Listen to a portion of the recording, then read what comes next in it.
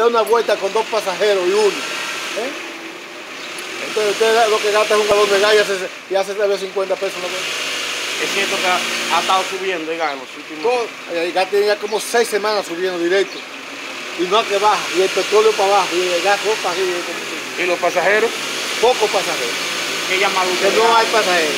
¿Qué llamado le hace al gobierno, al Estado? Ah, yo también vamos a ver si, si ya esto se para de ahí ya. ¿Qué usted exige entonces? Pa, pa- ¿Qué usted cree que se debe hacer para resolver esa situación? Para esta cuarentena que hay ahora.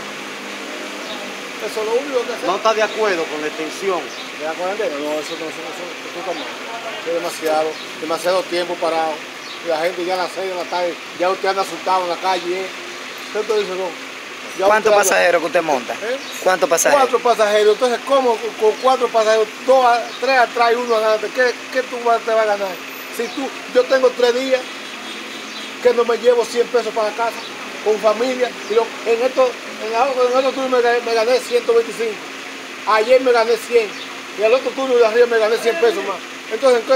estoy cuadrando. No estoy cuadrando. ¿Nombre suyo? Denny. Gracias. ¿Qué usted, hermano? Hermano, explícame esta situación de gas subiendo y ustedes pocos pasajeros. Bueno, esto está difícil. Súper, súper difícil. El pasajero cuando ve que tú tienes dos atrás no te quiere montar atrás. Y tú montas, dice que son cuatro, pero tú montas tres. Pero cuando tú tienes dos atrás ya no quieren subir más. Entonces ya para arriba, tú no se está llevando nada para acá. O sea, que ustedes están perdiendo ahora. Claro, ahora mismo lo que uno está es manteniendo por lo, por lo menos el, el chofer, eh, seis líneas ya. Por la, ¿me entiendes? Entendiendo la razón de él. Pero para uno no hay nada. Eso es ¿Cu- increíble. ¿Cuáles son los requisitos para trasladarse en un ca- una ruta, en un carro?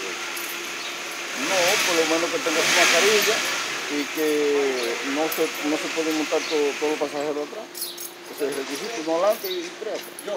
Pero cuando ven dos atrás no se quieren montar. ¿El nombre está bien.